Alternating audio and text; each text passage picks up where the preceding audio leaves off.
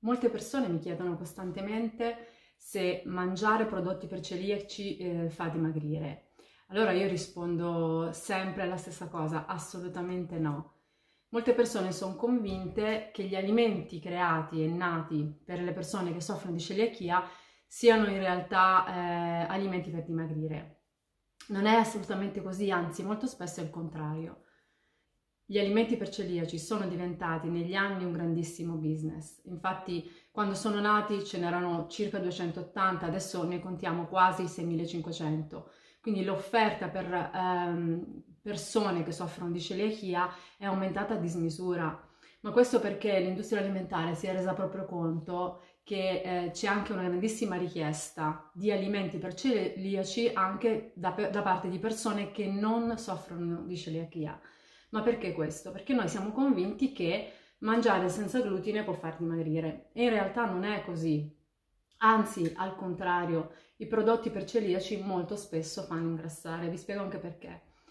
Eh, innanzitutto i prodotti per celiaci nascono per evitare che le persone che hanno delle reazioni molto gravi all'interno dell'organismo, delle reazioni intestinali anche molto forti, eh, possano essere danneggiati dalla proteina del glutine. Quindi la proteina del glutine viene tolta dal cibo e viene sostituita con qualcos'altro.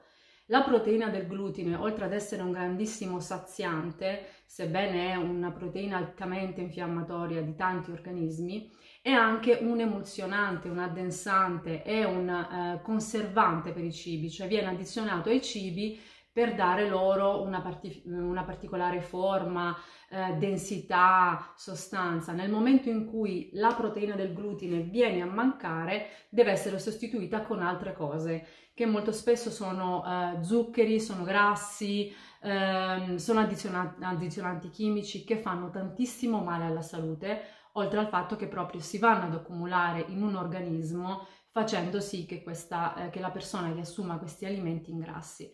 Quindi è veramente errato pensare che gli alimenti privi di glutine siano alimenti per dimagrire. Um, devi sapere che molto spesso gli alimenti mh, per celiaci quindi sono maggiormente prodotti e realizzati con l'uso di riso e l'uso di mais.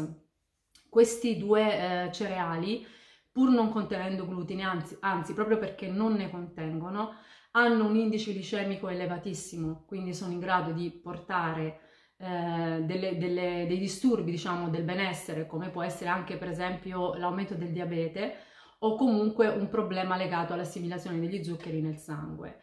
I picchi glicemici nel momento in cui noi mangiamo un alimento mm, gluten free prodotto appositamente per i celiaci sono veramente enormi e eh, questi picchi glicemici eh, ci lasciano delle conseguenze nell'organismo.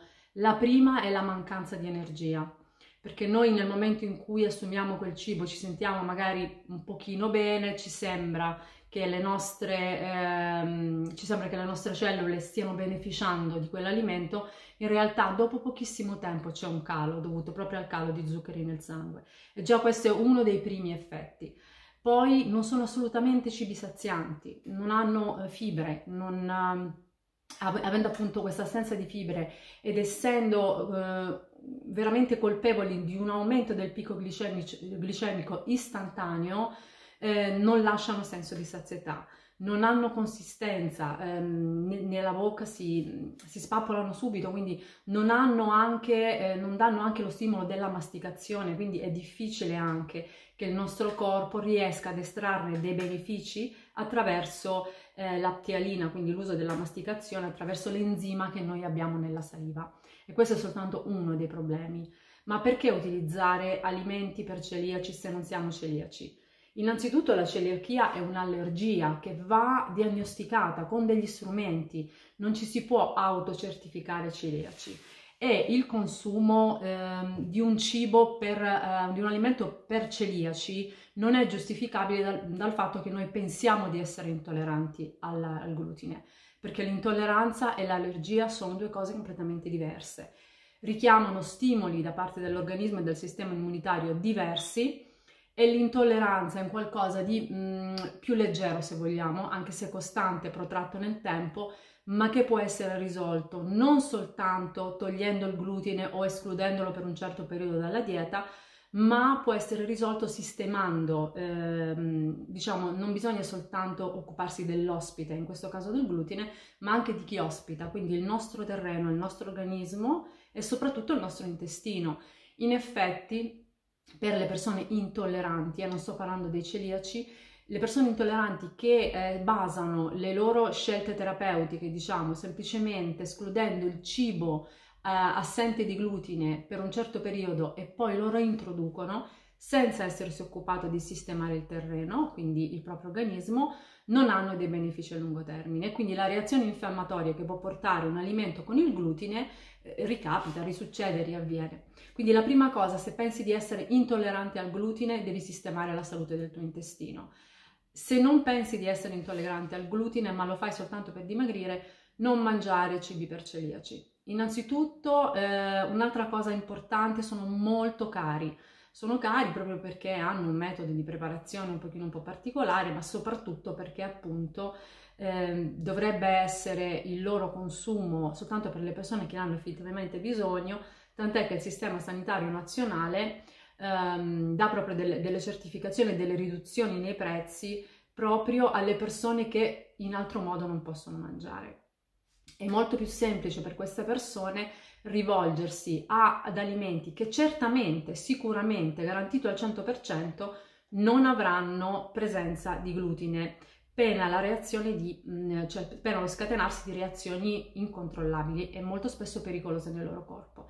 Ma se tu non hai questo problema, non hai ragione di consumare questi cibi che ti stanno, eh, se lo stai già facendo, ti stanno causando dei danni nel metabolismo come ti ho detto, ti gonfiano, non ti saziano, alzano il picco glicemico. Poi eh, da, recenti, da recenti scoperte è venuto praticamente fuori che innanzitutto il mais è molto glutinosimile, quindi si sta rivedendo un po' anche nell'alimentazione per celiaci l'uso eh, costante e veramente abbondante del mais, anche perché non stiamo parlando di un mais eh, di una pannocchia raccolta in Guatemala, stiamo parlando di un mais molto spesso GM, di colture intensive che vengono prodotte in maniera così veloce e la proteina del mais ehm, diventa veramente ricca, tantissimo ricca di elementi che, ri- che, ricordano molto il glutine, per cui a- alla lunga diventerà anche questo un prodotto sicuramente da, da rivedere, il mais eh, usato per, per i celiaci. Per quanto riguarda il riso, che anch'esso viene spesso utilizzato per, per, i celiagi, è uno degli alimenti a più alto indice glicemico, quindi arriva subito lo zucchero direttamente nel, nel sangue. Eh, quello zucchero che ti arriva ti fa, eh, fa sì che il tuo corpo lo raccolga sotto forma di grasso, soprattutto addominale e viscerale, e quindi tu invece di andare a correggere un problema lo hai amplificato. Se sei interessato a perdere peso eh, attraverso l'alimentazione, che è la cosa primaria, la funzione primaria, inizi a sostituire molte delle tue fonti di carboidrati con delle proteine di alto valore biologico. Per esempio potresti, se sei onnivoro, aumentare la quota delle uova, del pesce, un po' di carne bianca, raramente carne rossa. Se sei vegetariano, aumenta la quota delle proteine vegetali, come i legumi, i semi di chia, e i, semi, mm, i semi di canapa, ma eh, evita di introdurre nella tua alimentazione troppo troppe fonti di carboidrati. Poi aumenta la quota dei grassi. La quota dei grassi che comunque deve essere circa di un 20-30% eh, al giorno come minimo e vedrai che eh, non soltanto non avrai i, i pericoli, non correrai i pericoli che corre una persona che invece per dimagrire sta assumendo prodotti per celiaci, ma vedrai ridursi il senso di fame, aumentare quindi il senso di sazietà, aumentare l'energia nel tuo corpo e avrai dei grandissimi benefici.